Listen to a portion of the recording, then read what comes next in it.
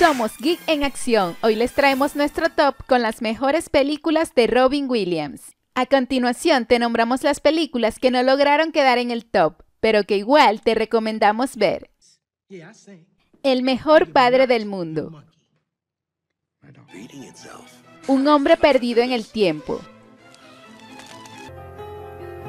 Más allá de los sueños. El hombre del año. Una noche en el museo. Las memorias de los muertos.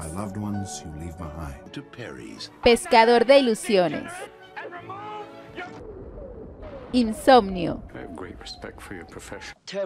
El mundo según Garth. Una señal de esperanza. El hombre más enfadado de Brooklyn. Cadillac Man. Locas vacaciones sobre ruedas. Licencia para casarse. Juguetes. Un papá de sobra. Papás a la fuerza. Popeye. Los buenos tiempos. Ahora empezamos con nuestro top. En la posición número 15, Flower, el invento del siglo. Es una película de 1997, producida por Walt Disney Pictures, dirigida por Les Mayfield y protagonizada por Robbie Williams. Se trata de un remake de la película Un sabio en las nubes de 1961 un simpático y despistado científico que trabaja en una universidad que está a punto de cerrar por falta de dinero. Hace un sorprendente descubrimiento que puede evitar el cierre del centro. Flover, una sustancia voladora que produce energía y se mueve a velocidades supersónicas. Oh, boy.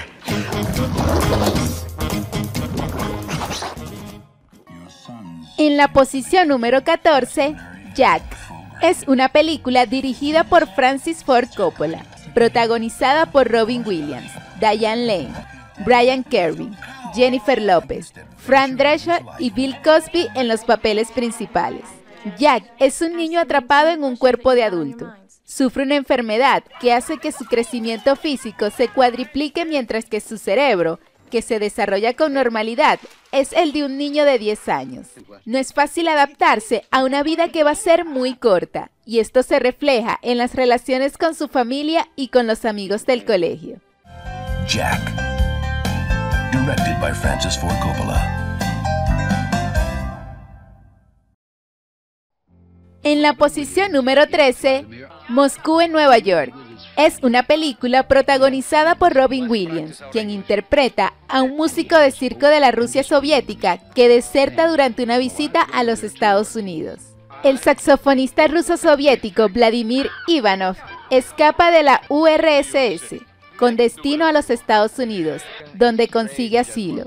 Vladimir se instala en Nueva York, en Harlem, en el departamento de Lionel Witherspoon Allí conoce una atractiva italiana, Lucía Lombardo, y a un abogado cubano, Orlando Ramírez. Vladimir experimenta los problemas de los inmigrantes en tierras extrañas, pero aprenderá también a apreciar a su nuevo país. Según el director Mazursky, la película está inspirada en su abuelo, que emigró desde Ucrania a Estados Unidos 80 años antes de la película, y a manera de homenaje a la inmigración rusa en Estados Unidos. Kiss the bears for me. Love, Vladimir. En la posición número 12, Golpe de Suerte. Situada en Alaska, cuenta las desaventuras de Paul Barner, un propietario de una agencia de viajes que está pasando una situación personal complicada, ya que su mujer, Margaret, sufre una enfermedad degenerativa. Paul decide utilizar un cadáver que ha aparecido en un basurero cerca de su oficina para intentar cobrar la póliza de seguro de vida de su hermano Raymond, al cual hace años que no ve, y con el dinero mudarse con su esposa a un lugar más cálido. Ted Waters está casado con Tiffany y es el agente de seguros encargado de verificar las alegaciones de Paul. Un sicario de la mafia local llamado Gary intenta recuperar el cadáver. En la posición número 11, Retratos de una obsesión. La película está protagonizada por Williams como el técnico fotográfico que desarrolla una obsesión enfermiza con una familia a la que le ha brindado servicios durante mucho tiempo. Sai trabaja como dependiente en una tienda de revelado rápido de fotos en unos grandes almacenes. Es un hombre solitario, tranquilo y sensible, con un único defecto. Necesita una familia a la cual querer y cuidar.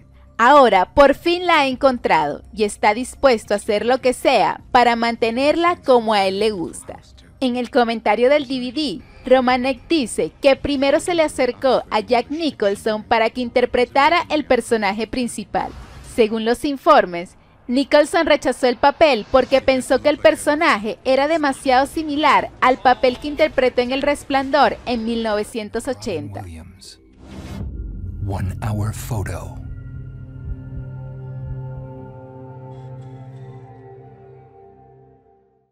En la posición número 10, Papá por siempre.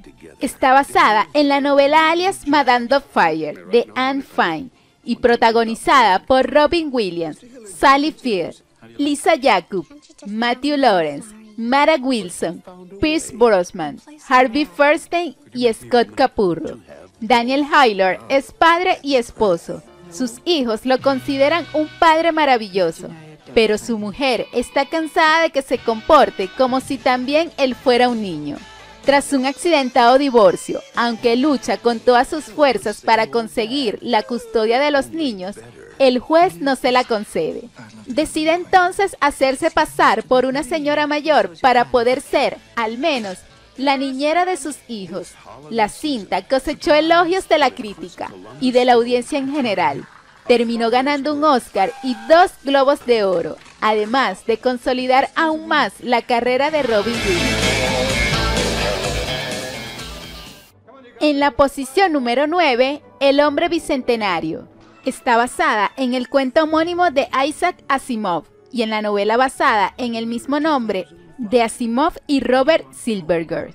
En la primera década del nuevo milenio, con avances tecnológicos que engullen la soberanía de la compasión humana, Richard Martin compra un regalo, un nuevo robot NDR-114.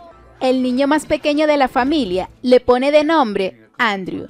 Andrew es adquirido como electrodoméstico casero, programado para realizar tareas menores. A medida que Andrew empieza a experimentar emociones y pensamiento creativo, la familia Martin descubre pronto que no tienen un robot común y corriente. La trama explora cuestiones de la humanidad, la esclavitud, la conciencia, los prejuicios, la madurez, la libertad intelectual, la conformidad, el sexo, el amor y la muerte. La película estuvo nominada a los premios de la Academia en la categoría Mejor Maquillaje.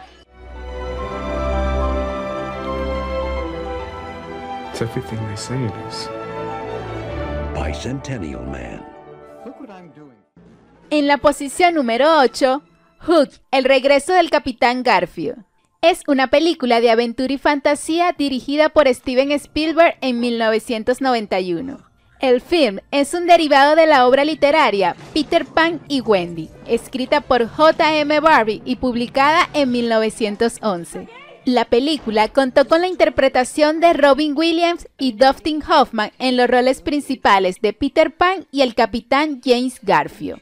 Los papeles secundarios recayeron en Julia Roberts como Campanita, Bob Hopkins como el contramaestre Smith y Maggie Smith como la anciana Wendy Darling. Peter Pan es un prestigioso abogado que vive absorto en su trabajo. Tiene una encantadora familia a la que apenas le dedica tiempo, porque se ha olvidado de lo que significa la infancia. Sin embargo, cuando sus hijos son secuestrados por su antiguo enemigo, el capitán Garfio, y llevados al país de nunca jamás, se verá obligado a viajar a este reino encantado, donde con la ayuda de Campanita podrá recuperar no solo a sus hijos, sino también al niño que un día fue. Hook estuvo nominada a cinco premios Oscar, así como un Globo de Oro y a un Grammy pero no obtuvo ninguno de estos premios. El director Steven Spielberg usó en el film varios símbolos como los relojes o los piratas para tratar temas como el paso del tiempo, la madurez del individuo y la pérdida de la imaginación.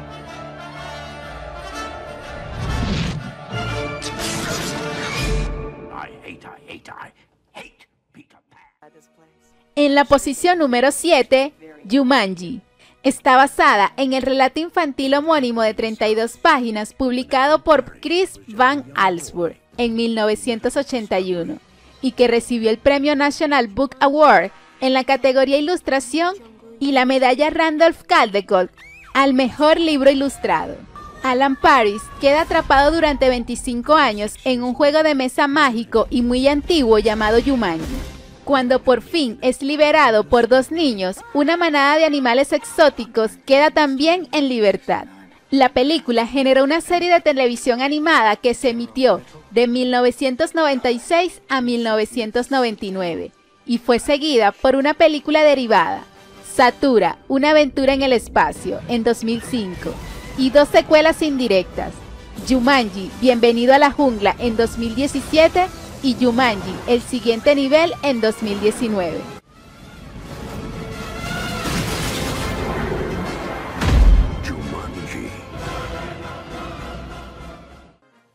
En la posición número 6, La jaula de las locas. Se trata de un remake de la película franco-italiana Le Quecho Fall de 1978, que a su vez está basada en la obra teatral homónima.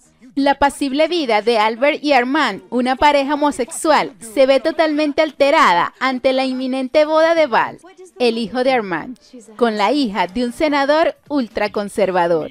El político que desea promocionar los valores tradicionales de la vida familiar decide visitar a la familia del novio, sin saber con lo que se va a encontrar. La Jaula de las Locas también recibió una nominación a Mejor Dirección Artística en la edición 69 de los premios de la Academia.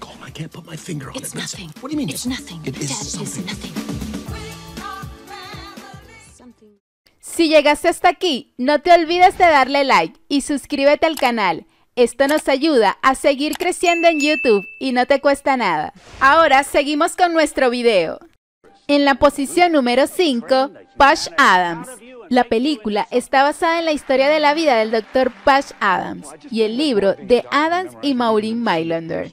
Basada en una historia real, la película es la biografía del médico Pash Adams, que revolucionó a la comunidad médica oficial aplicando singulares terapias consistentes en hacer reír y proporcionar afecto a los pacientes enfermos de cáncer el verdadero Pash Adam ha criticado abiertamente la película, diciendo que sacrificó gran parte de su mensaje para hacer una película que se vendiera. También dijo que de todos los aspectos de su vida y activismo, la película lo retrataba simplemente como un médico divertido.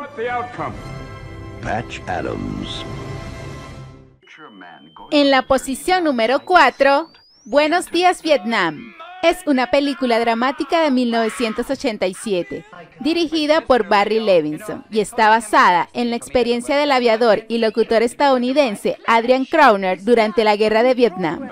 Durante la Guerra de Vietnam, Adrian Crowner, un disjockey de la Fuerza Aérea de los Estados Unidos, llega a Saigón para entretener a los soldados desplegados en Vietnam.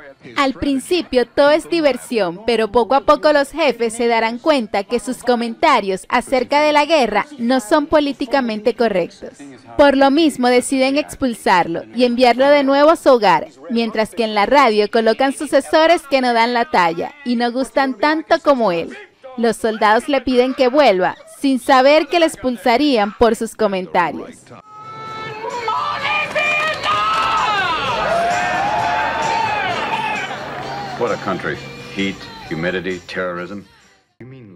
En la posición número 3, Despertares.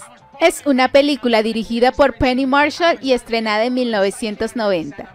Basada en la autobiografía del neurólogo Oliver Sacks, Despertares relata la historia real del descubrimiento en 1969 de los efectos benéficos temporales de la L-Dopa y su aplicación a pacientes catatónicos que sobrevivieron a la epidemia de encefalitis letárgica entre 1917 y 1928. En la película, Oliver Sacks es interpretado por el actor Robin Williams bajo el nombre de Malcolm Sawyer.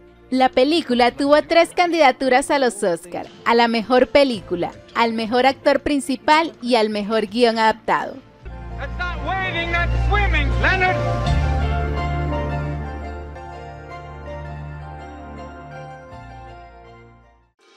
En la posición número 2, En Busca del Destino.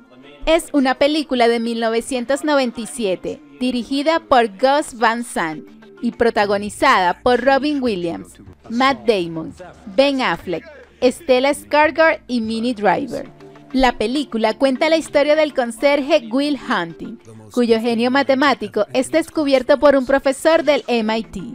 El descubrimiento de su talento por parte del profesor le planteará un dilema, seguir con su vida de siempre, un trabajo fácil, buenos amigos con los que tomar unas cervezas o aprovechar sus grandes cualidades intelectuales en alguna universidad. Solo los consejos de un solitario y bohemio profesor le ayudarán a decidirse. En la edición 70 de los premios de la Academia recibió nominaciones en nueve categorías, incluidas Mejor Película y Mejor Director, y ganó en dos, Mejor Actor de Reparto para Williams y Mejor Guión Original para Ben Affleck y Matt Damon.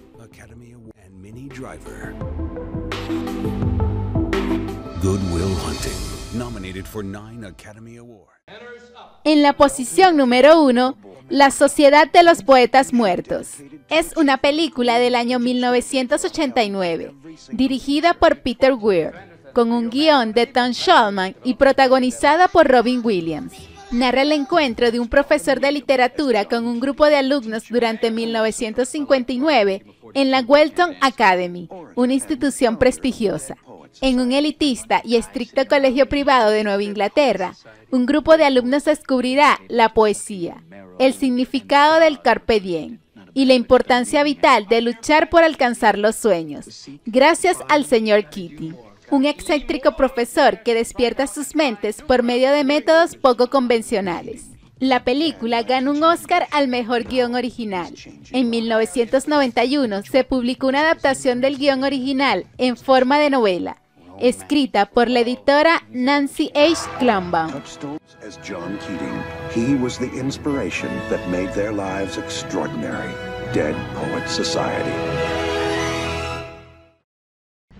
Si te gustó nuestro top, deja un like a este video. Suscríbete y activa la campanita para que estés atento a nuestros próximos videos.